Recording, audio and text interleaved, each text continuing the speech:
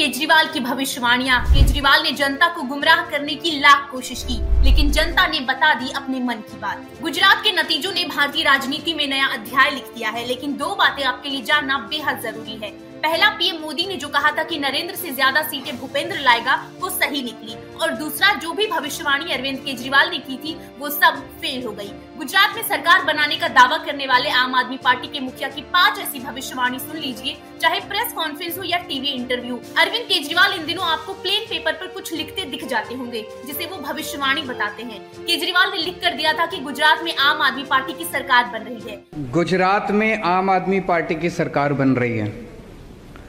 ये आज आप नोट कर लीजिए ये भविष्यवाणी भी नोट कर लीजिए और ये भविष्यवाणी सही होगी। इससे पहले केजरीवाल ने आईबी की एक रिपोर्ट का भी ज़िक्र किया था। सूत्रों के मुताबिक आईबी की एक रिपोर्ट आई है। उस रिपोर्ट में गुजरात में आम आदमी पार्टी आज अगर गुजरात में चुनाव हो तो गुजरात में आम आदमी पार्टी की सरकार बन रही है। हालाँकि रिपोर्ट में लिखा है कि अभी थिन मार्जिन से बन रही है। बहुत कम सीटें सीटों से आगे हैं। इसके बाद सवाल उठने लगे थे कि क्या इंटेलिजेंस ब्यूरो भी पॉलिटिकल सर्वे करती है। लेकिन केजरीवाल आईबी वाले दाव को सियासी दंगल में लगातार आजमाते रहे हैं। आईबी का नाम सुना आप लोगों ने? आईबी आईबी को भेजा केंद्र सरकार ने गुजरात में। पता करके आओ माहौल क्या है? 20-25 दिन आईबी के ऑफिसर पूरे गुजरात में कोने कोने में घूमे।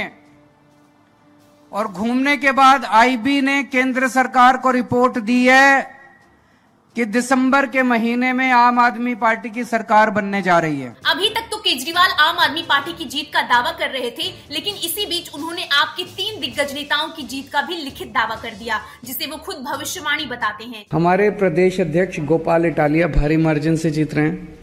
हमारे सीएम उम्मीदवार ईशुदान जी भारी मार्जिन से जीत रहे हैं। अल्पेश जी वराछा से भारी मार्जिन से जीत रहे हैं। तीनों जीत रहे हैं। केजरीवाल ने जिन तीन नेताओं की जीत का दावा किया था वो तीनों सीएम कैंडिडेट ईसुदान गढ़वी गोपाल इटालिया और अल्पेश कथीरिया अपनी सीटों पर बुरी तरह से हार गए हैं। जिनके लिए केजरीवाल ने लिखित में भविष्यवाणी की थी आम आदमी पार्टी के मुखिया ने एक प्रेस कॉन्फ्रेंस में बीजेपी के वोटर को डरा हुआ बता दिया था। लोग डरे हुए हैं।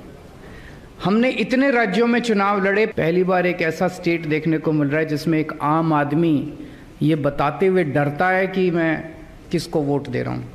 उन्हें डर लगता है कि अगर मैंने भाजपा नहीं बोला तो मुझे ये मारेंगे। अपने हर इंटरव्यू, प्रेस कॉन्फ्रेंस और चुनावी सभाओं में दावा कर रहे थे कि गुजरात में बीजेपी का वोटर डरा हुआ है। लेकिन केजरीवाल का ये दावा भी गलत साबित हुआ। बीजेपी का वोटर डरा हुआ नहीं, बल्कि पहले से ज़्यादा कट्टर निकला। गुजरात में बीजेपी ने जीत के सारे रिकॉर्ड तोड़ दिए। गुजरात की जनता ने साबित कर दिया की वो रेवड़ी कल्चर मुफ़्त की योजनाओं आरोप नहीं, बल्कि विकास के नाम आरोप वोट करते हैं। ब्यूरो रिपोर्ट, एक भारत न्यूज़।